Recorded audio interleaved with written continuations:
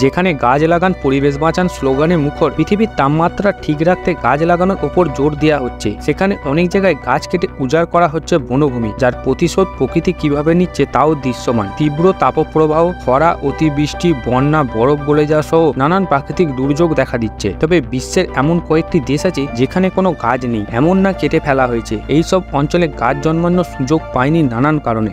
এই দেশগুলোতে মাইলের পর মাইল হেঁটে গেলেও চোখে পড়বে না একটিও গাছ। এমন একটি নয়, দুটি দেশ আছে। প্রথম দেশ গ্রিনল্যান্ড। আশ্চর্যের ব্যাপার, যে দেশের নামই রয়েছে গ্রিন, সেই দেশে নেই প্রায় একটাও গাছ। মাইলের পর মাইল জুড়ে শুধু সাদা বরফ। নামে সবুজ থাকলেও আসলে এই দেশের সবুজের দেখা পায় দ্বিতীয় দেশ হলো কাতার। কাতার ছিল ধুধু মরুভূমি। চারিদিকে সার দেয়া উঁচু বাড়ি আর বালি ছাড়া কিছুই ছিল না কাতারে।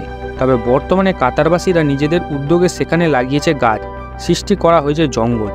বিশ্ব ব্যাংকের সংস্থা অনুসারে চারটি দেশ আছে যেখানে কোনো বন নেই, সান মারিনো, কাতার, গ্রিনল্যান্ড ও ওমান।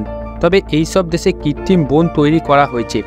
বিস্তৃত বনভূমি না থাকলেও ওমানে প্রায় দুশো একর জমিতে গাছ রোপণ করে কৃত্রিম বন তৈরি করা হয়েছে। ভিডিওটা যদি ভালো লাগে, তাহলে চ্যানেলটিকে সাবস্ক্রাইব করবেন। আপনার মূল্যবান সময় আমাকে দেওয়ার জন্য অসংখ্য ধন্যবাদ। দেখা হবে আবার পরের কোনো ভিডিওতে। ততক্ষণ সবাই সুরক্ষিত থাকবেন, ভালো থাকবেন।